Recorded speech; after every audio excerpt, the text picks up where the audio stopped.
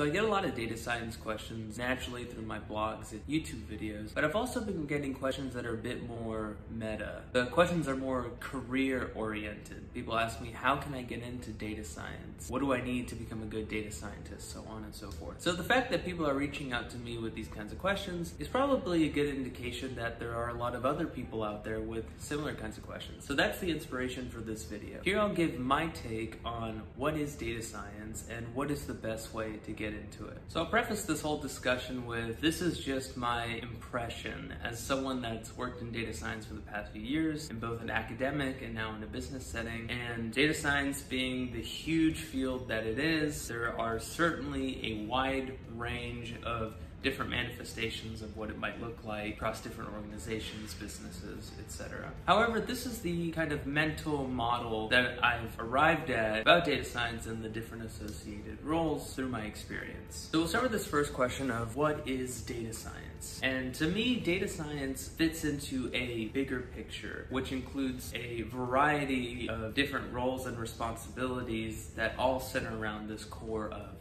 data. While again, there might be different labels and details for these types of roles, the way I see it, there are generally five distinct roles in this data space. To list them, the first is data engineering, second is data analytics, third is data science, which is what I do, and the main topic of this video. The fourth is machine learning operations and engineering, and then the fifth is data management. All these archetypal roles and responsibilities in the data space space all serve this bigger data pipeline. So data engineering is the starting point, and then that goes all the way to ML operations engineering, and then data management kind of sits on top of this whole thing. Okay, so the first role, data engineering, is mainly focused on taking data, information from the real world, and bringing it to a place where data scientists, data analysts can do something with that information. And as a data scientist, I love data engineers because they make my life a lot easier. So every data analyst and every data scientist's dream is to just have a curated data set where everything is good to go. The data is clean, the data is pre-processed, and all they have to do is make a visualization or develop a model, so on and so forth. So good data engineers are a very valuable asset. Probably a big reason why it's such a big job these days. Okay, so the second role I mentioned was data analyst. And typically what a data analyst does is take data that is made available to them through whatever means, and typically will generate interactive dashboards or visualizations, graphs, plots. They will typically tell stories with data. They'll make slides, they'll give presentations to decision makers and business partners and stakeholders. And a data analyst will typically use tools like Microsoft Excel, Tableau, Power BI, and some kind of interactive SQL application. So a lot of these tools don't require much programming experience. So in that regard, a data analyst role is typically less technical, for lack of a better word, than a data scientist role. And probably the biggest difference between a data analyst and a data scientist is that a data scientist will do a lot more programming than a data analyst.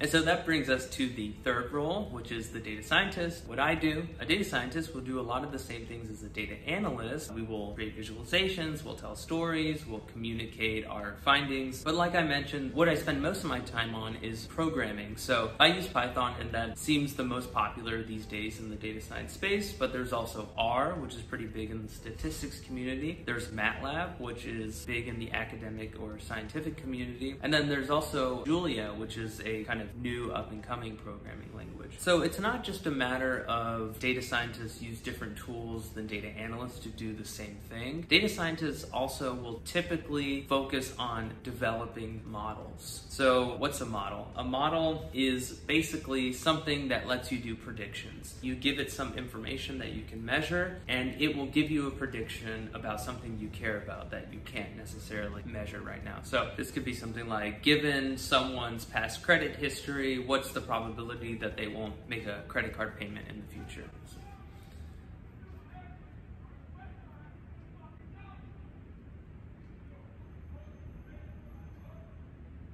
Models are definitely a powerful tool in science, in business, in finance, and sales, and basically any industry that has data and has things that they would like to predict models are going to be helpful to that industry. Which brings us to the fourth role in this data space, which is machine learning operations. And what this role typically does is takes the model that the data scientist develops and deploys it into production. So it doesn't matter how amazing and insightful your model is, if it can't be used and deployed in the real world, it's not going to have any value. What this might look like using that same example from before, what's the probability that someone will make their credit card payment based on past credit history? So it's great if I develop a model and it's sitting on some server somewhere or sitting on my local machine or whatever it might be. But how does that help the people making the decisions of whether to increase someone's credit card limit or to approve a new credit application? So that's where the machine learning operations will be valuable. The fifth and final role sits on top of this whole pipeline. So we started with the data engineers who take the data and information from the real world and bring it to a place where analysts and data scientists can use it. The data analyst will typically take the data that is there and visualize it, look at it in different ways, and create stories and slides from it. The data scientists will do a lot of the same things, but we'll take it a step further in taking that data and developing models with it. Then finally, the machine learning engineer will take that model and deploy it into production. So this fifth role, which I labeled as data management, kind of sits on top. And what this role focuses on is handling the metadata, the meta information. So not so much what the values in a specific data table might be, but where's the data table located? What variables are in this data table? What do these variable names mean? What is the description of each variable? What data types are they using? Where is it coming from? Where is this data being pushed to eventually? Kind of keeping track of all the data about the data, which is very important. So this ecosystem, like all these different types of roles are critical to make sure the whole process is working effectively. Like you can't just have data engineers. You can't just have data scientists. You can't just have machine learning engineers. You really need every kind of piece of the puzzle to have data make an impact in your business or research or whatever it might be. As a final caveat, even though I've presented these five different roles as beautifully distinct and specialized responsibilities, in reality, it's not like that at all. There's a lot of bleed over, there's a lot of overlap. So just speaking from my experience as a data scientist, I do the data engineering work, I do the data analytics work, I'll do the machine learning development, I'll do the data management stuff. And that's just the reality of things. So while it may be the case that some organizations that these roles are very specialized, so a data scientist will only focus on doing data science type things, or a data engineer will only focus on data engineering type things. For the most part, there is bleed over. So if you want to get into any one of these roles, it's good to have some knowledge and experience doing the other roles in this space. Okay, so now we'll talk about the second question, which is how can I get into data science? So I'll first preface this again that this advice is definitely biased by my experience and my data science journey. So there are certainly other paths to get into a data science role, but these are the tips that I would give to anyone that comes up to me and says that they want to get into data science. I have three tips for anyone trying to get into data science. So the first thing to do is get a technical graduate degree. So probably 80 to 90% of the people that I work with in data science, they either have a master's degree or a PhD in some technical field. So what do I mean by technical? There's a lot of flexibility here. So I have a PhD in physics. I've seen PhDs in math, PhDs in statistics, masters in statistics, masters in data science and data analytics. Any training that has a focus on math, science, programming will be helpful to getting a job. And while you don't necessarily learn all that you need to know to do data science in these different programs, there's typically a good amount of overlap. So in physics, you learn a lot of math and science and you do a lot of modeling. And so that's a pretty natural transition into data science. But second and probably the most practical is that it's just something to have on your resume. So the reality is when people are looking at resumes for data scientists, they're getting flooded with applications and there just has to be a way to just narrow down the applications to help make a decision. And typically the first filter that people use in picking data science applications is do they have a graduate degree and in what? And so again, I'll highlight, even though this is the background of the bulk of people I see in data science. They have a technical graduate degree. There's certainly other people working in data science without them. Maybe they'll just have an undergraduate degree, or maybe they got an undergraduate degree and did like a data science boot camp. So it's certainly not the only way into data science, but it is the bulk of what I've seen.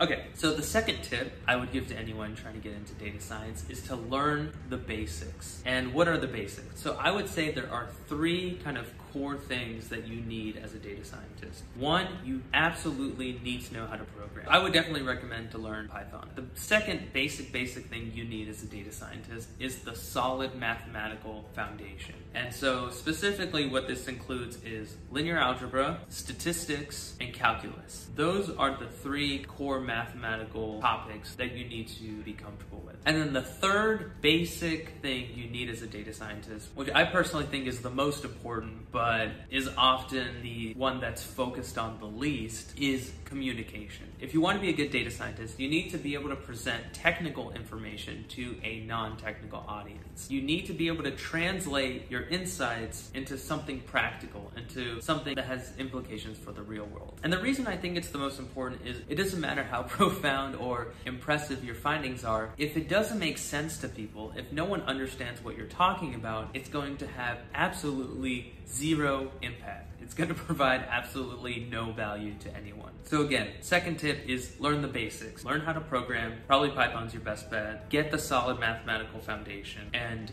work on your technical communication. Okay, so the third and final tip that I would give to any aspiring data scientist is to do it. I think the best way to learn is by doing. So the best way to learn data science is by doing data science. And so what this might look like in the early days is just finding some data and doing a project. Ideally using real world data, so not like curated and ready to go data sets that you might find on Kaggle for instance, but go online, try to find data sets, try to find data that is not clean. Use a web scraper to pull information information off a website reach out to your local network. Do you know anyone doing research that is working with real world data? Do you know anyone that owns or works in a business that is working with real world data? Try to get access to that data and come up with some projects that might be helpful to that person. So if you want to get good at data science, you got to do data science. So try to come up with at least one or two data science projects and do it from A to Z. Do the data engineering bit, do the data analytics bit, do the data science bit, and do the machine learning engineering. In other words, take the data from the raw source and bring it into a place where you can analyze it, create visualizations, look at the basic statistics, try to tell a story with the data, identify a problem, identify a project, then develop a model, do something that has real world impact, that provides value, and then try to deploy it. Maybe make a website, maybe make an API so people can actually use your project. And then I'll also say a lot of times it's not just about what you know, but about what you show. Like let's say you do the whole shebang, you do it all perfectly. You get real world data, you look at the data, you get the basic statistics, you make visualizations, you develop a model, and then you deploy that model and it has tremendous real world impact and it provides value. But if you don't present that information, no one's gonna know about it. So if you're trying to work in data science, you wanna get hired by someone to do data science, you need to not just know your stuff, but show your stuff. Show people what you've done, what you can do, and it's gonna increase your chances of success. So don't just do a data science project and keep it a secret. Make a portfolio, put it out there, and show people what you can do. Okay, so that's basically it. So if you watch this and you still have questions, please feel free to drop additional questions in the comment section below. The questions are really helpful for me. I feel like I learn a lot about the people that watch these videos through the questions that I see in the comment section. So I greatly appreciate those. I hope you found some value in this video and after watching it, you know what to do next to start your data science journey or you realize you don't want to be a data scientist at all and you're going to open a coffee shop or something. Either way, I hope it was helpful. And as always, thanks for watching.